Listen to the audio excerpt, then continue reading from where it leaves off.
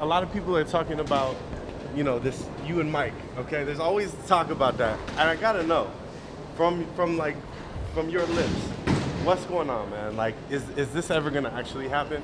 Is there some some Not- momentum? Not that I know. And, I mean, as far as your feelings about it, though, is it something that you'd be up to? You're in good shape, man. well, I'm like too late now. You think? Yep. It's, I mean, you. Here's the thing. Like, I mean, I feel like that fight would never, like, the appeal of that fight would never go away. You know what I mean? Yeah, but it's all done now. Okay, okay. So, are you? Are, do you feel like then, then you're officially retired? Well, I've been retired. I know, but you know what I mean. But yeah, yeah. You, you won't. You won't be doing that second act shit. Nope.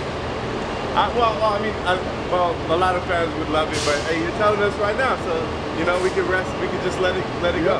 Hey, um, something something else. Mike uh, is is selling these. Uh, you see the he's selling the ear Yeah. bites. They're called Mike bites, and I wondered eh, what your thoughts about. He's making tons of money. Do you want? Do you feel like you owe you're owed a cut? Because it's kind of your ear. When uh, A little I think, you know, it's just a game plan he came up with. So, So kudos to him. yep. I feel like, hey, I feel like you have like intellectual property to that ear shape though.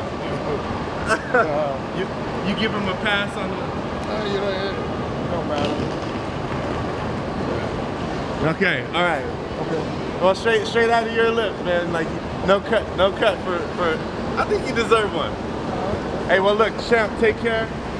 God bless you. All right.